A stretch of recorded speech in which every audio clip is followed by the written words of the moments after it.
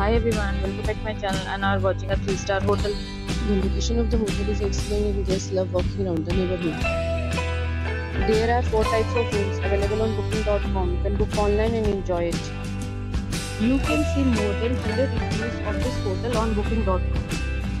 Its review rating is 9.8, which is exceptional.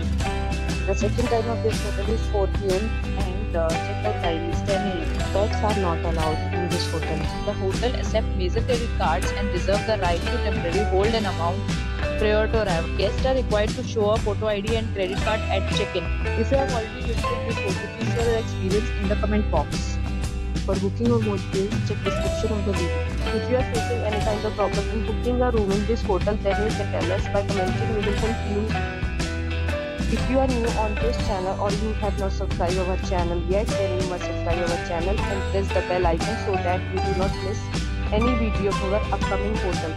Thanks for watching the video till then. So friends, we'll meet again in a new video with a new property. Be safe, be happy.